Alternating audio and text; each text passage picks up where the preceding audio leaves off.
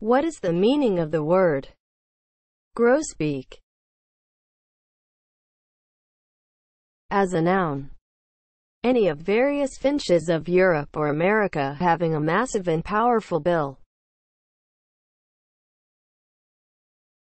Grosbeak is spelled G R O S B E A K. Grosbeak